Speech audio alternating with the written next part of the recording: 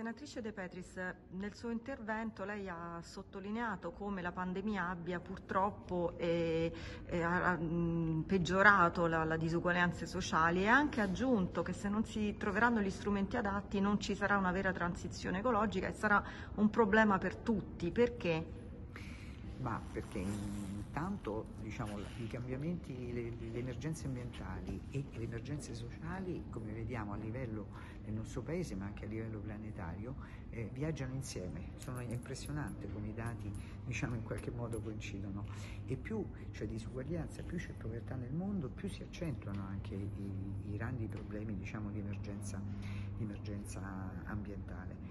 E con la pandemia tutti questi che sono problemi strutturali si sono assolutamente accentuati, noi lo vediamo nel nostro paese, eppure abbiamo messo tante misure in campo proprio per intervenire eh, per mitigare la povertà, pensiamo anche al reddito di cittadinanza, adesso è tanto discusso, ma in realtà questo è servito, è servito molto.